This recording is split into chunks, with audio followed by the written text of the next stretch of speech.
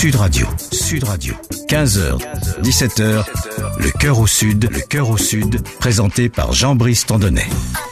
Direction le Nicaragua dans quelques instants avec nos rêveurs du jour. Euh, près de 4 années autour du globe, Marise et Dany euh, sont québécois et ils ont fait escale. euh, ils sont là en tout cas du côté du Nicaragua. Il est à peine 9h du matin là-bas. On va les rejoindre juste après ceci. Et nous partons au Nicaragua avec nos rêveurs du jour. Marise et Dany sont en ligne avec nous. Bonjour. Bonjour. Comment allez-vous? C'est Marise que j'ai en ligne. Oui, oui, c'est Marie Daniel juste à côté. On a juste un combiné. Donc, euh, oui, nous sommes au Nicaragua, à Léon, une belle ville coloniale. Alors, vous vous êtes parti depuis euh, depuis trois ans déjà. Ça fait trois ans que vous êtes sur Oui. la route. Trois ans et demi, oui. Trois ans et demi pour un voyage de quatre ans. Mais aujourd'hui, qui peut se permettre de partir quatre ans autour du monde? Qu'est-ce qui vous a pris d'abord? Pourquoi cette aventure? OK. Ben, au départ, c'est pas un rêve qu'on avait depuis vraiment longtemps. On voulait plutôt planifier des, des vacances euh, un peu hors normes pour le Québec. Déjà, un mois, deux mois, c'est un peu difficile avec les emplois qu'on avait. Oui. Donc, euh, comme c'était un peu compliqué, ça impliquait déjà plein de choses. On s'est dit, ah, pourquoi pas six mois, pourquoi pas un an? Puis finalement, c'était c'était deux ans au départ. C'est en cours de route qu'on a décidé de partir, euh, d'allonger deux ans, donc quatre ans au total. Ah oui. On manquait de temps pour pouvoir.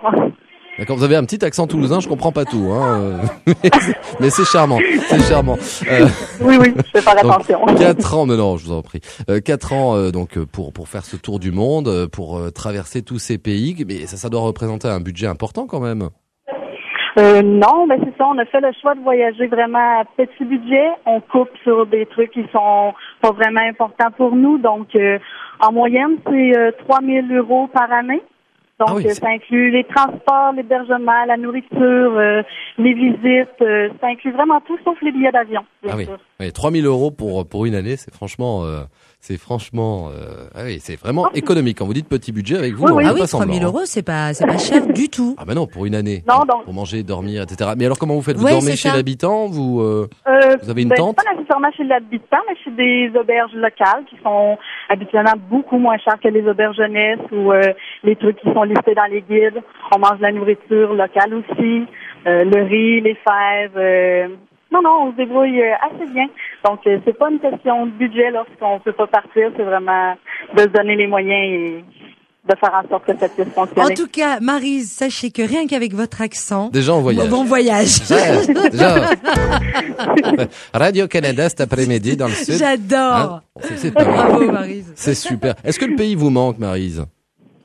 Euh, non, Non. pas trop. On a tellement, on a tellement de choses à voir, tellement de, on découvre tous les jours. euh, non, ça nous manque pas trop. Notre famille, nos amis, bien sûr, mais avec Internet maintenant, euh, c'est facile de les rejoindre euh, aussi longtemps qu'on veut. On peut les parler. Donc, euh, C'est génial. ça, Alors, ça va. le, le Nicaragua, là, euh, encore pour euh, pour quelques jours, quelques semaines, et après, prochaine destination? Euh, ensuite, le Honduras ou El Salvador, on n'est pas encore certain. On n'a pas vraiment d'itinéraire fixe, donc on y va un peu euh, au jour le jour. Donc, on va voir selon les rencontres qu'on va faire euh, où on se dirige exactement. J'ai une question, Marise. Euh, Oui. je, je pense que vous avez dû rencontrer, vous avez dû vivre des choses euh, autant extraordinaires les unes que les autres, mais celle que vous vous pouvez retenir, ça serait laquelle Celle qui vous a le plus marqué, ouais, depuis trois ans. Est-ce qu'il y en a une euh, en particulier? Euh, c'est ça, c'est, c'est vraiment difficile à choisir une, mais je dirais euh, on n'a pas besoin on n'a pas besoin de tout le matériel qu'on a pour être heureux. euh, dans les des fois on se dit les pays pauvres, les gens ils sont, sont malheureux, ils sont tristes ou quoi que ce soit, mais là on apprend beaucoup à se connaître, à connaître les autres, à connaître les vrais besoins qui sont essentiels. À l'essentiel, oui. Hmm. Donc, donc au retour finalement, vous allez, euh, vous allez peut-être pas. euh, Enfin voilà, est-ce que ça va changer quelque chose dans votre vie? Est-ce que vous avez l'impression que que ce voyage euh, vous aura tellement apporté que qu'au retour vous allez, est-ce que vous allez changer des choses? Est-ce que ça va changer votre façon de, de, de vous comporter, votre façon de vivre, votre façon d'envisager la vie? Oui, euh, c'est certain qu'on va. C'est sûr qu'on a changé beaucoup. Là, c'est un peu difficile pour nous, comme on est en voyage et on est moins en contact avec les gens qui nous entourent ou notre vie d'avant.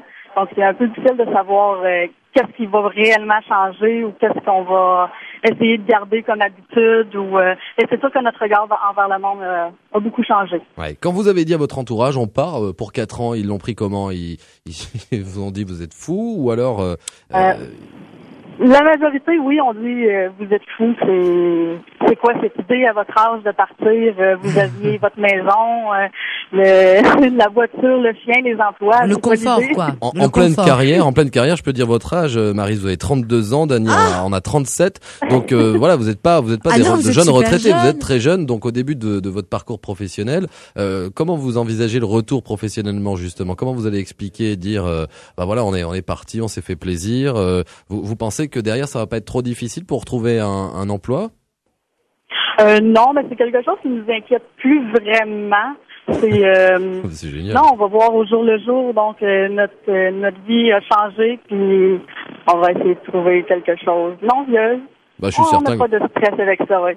Je suis certain que vous allez trouver en tout cas. En tout cas, vous, vous continuez à bien profiter euh, de ce voyage. Donc encore de, de belles étapes pour vous. Merci en tout cas de nous avoir fait partager euh, quelques quelques instants avec vous euh, depuis le, le Nicaragua. Profitez bien. Merci beaucoup. Continuez à, à rêver. Et puis euh, qui sait peut-être à, à bientôt en France, dans le sud de la France. Oui, oui, peut-être. Merci beaucoup. Au revoir Marise.